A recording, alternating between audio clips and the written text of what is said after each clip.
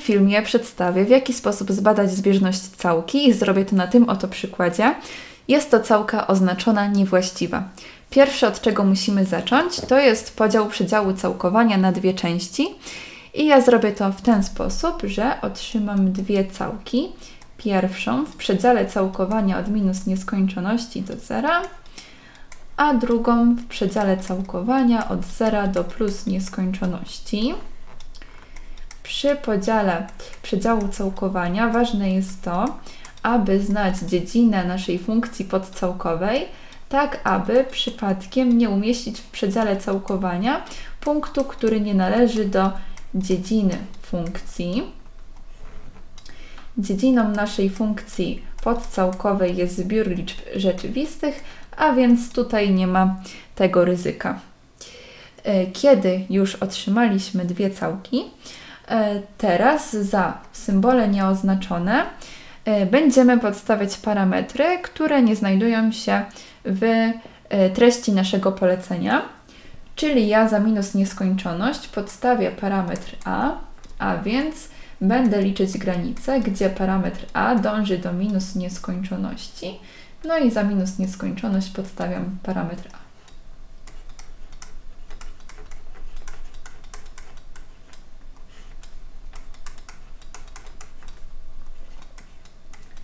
Za plus nieskończoność podstawię parametr b, a więc będę liczyć granicę, gdzie parametr b dąży do plus nieskończoności.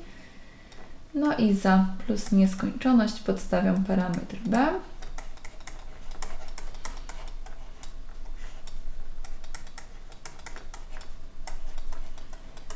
Teraz takie całki musimy obliczyć i najłatwiej będzie to zrobić stosując metodę podstawienia a więc za arkusa tangensa x podstawiam zmienną t,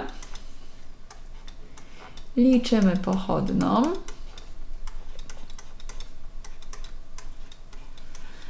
No i oprócz tego konstruujemy tabelę zmiennej x i t. I umieszczamy tutaj przy xach e, granice całkowania. Najpierw całki pierwszej i teraz y, parametr a oraz 0 będziemy wstawiać do tego wyrażenia, a więc uzyskamy arcus tangens a.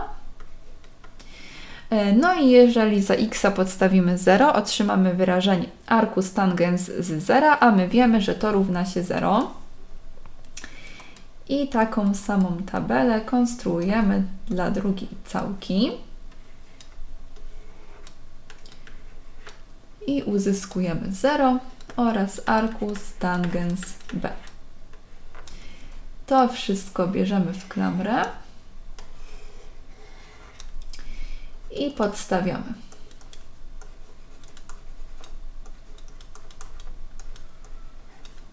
I teraz uzyskujemy całkę w, granicy, w granicach całkowania od arcus tangens a do zera a pod całką uzyskujemy wyrażenie t kwadrat dt.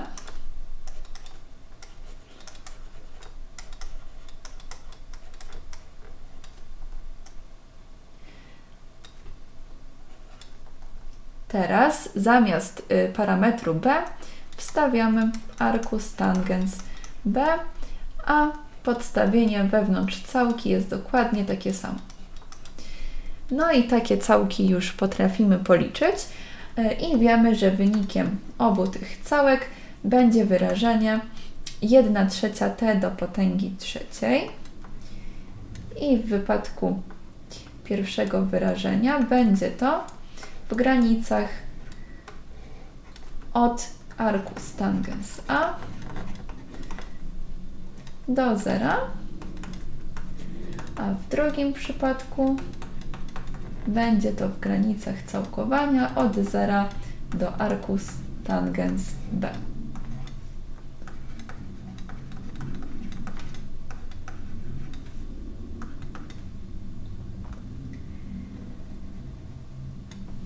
No i teraz podstawiamy nasze granice całkowania ze zmienną t, zaczynając od górnej granicy, czyli otrzymujemy granicę, a wewnątrz tej granicy 1 trzecia razy 0 do potęgi trzeciej odjąć 1 trzecia razy arkus tangens a do potęgi trzeciej.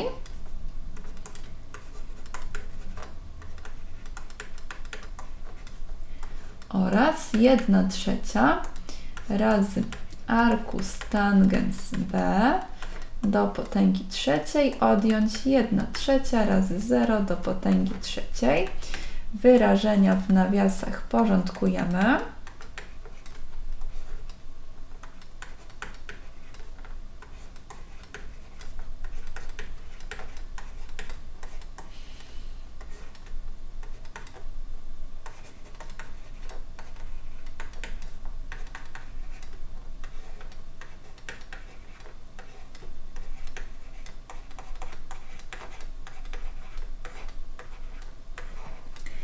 Teraz zastanawiamy się, do czego dążą nasze wyrażenia. Wiemy, że jeżeli parametr a dąży do minus nieskończoności, to wyrażenie arcus tangens a będzie dążyć do minus pi drugich, a jeżeli parametr b dąży do plus nieskończoności, to wyrażenie arcus tangens b dąży do pi drugich.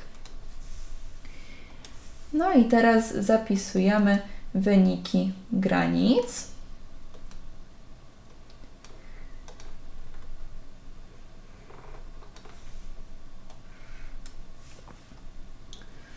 I otrzymujemy wtedy minus 1 trzecia razy minus pi drugich do potęgi trzeciej plus 1 trzecia razy pi drugich do potęgi trzeciej.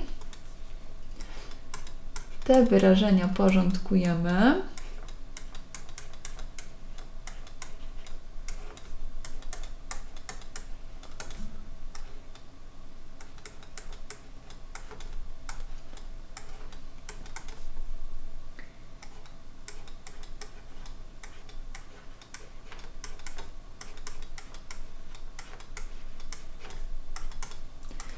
Uzyskujemy 2 razy pi do potęgi trzeciej podzielić na 24 i po skróceniu otrzymujemy pi do potęgi trzeciej podzielić na 12. Wynikiem naszej całki jest liczba, a więc z tego wyciągamy wniosek, że nasza całka jest całką zbieżną. I to wszystko. Dziękuję za uwagę.